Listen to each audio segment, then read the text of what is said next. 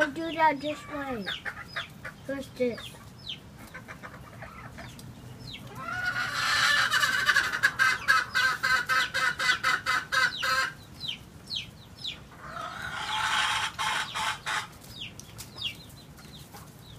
Well, that one's still limping.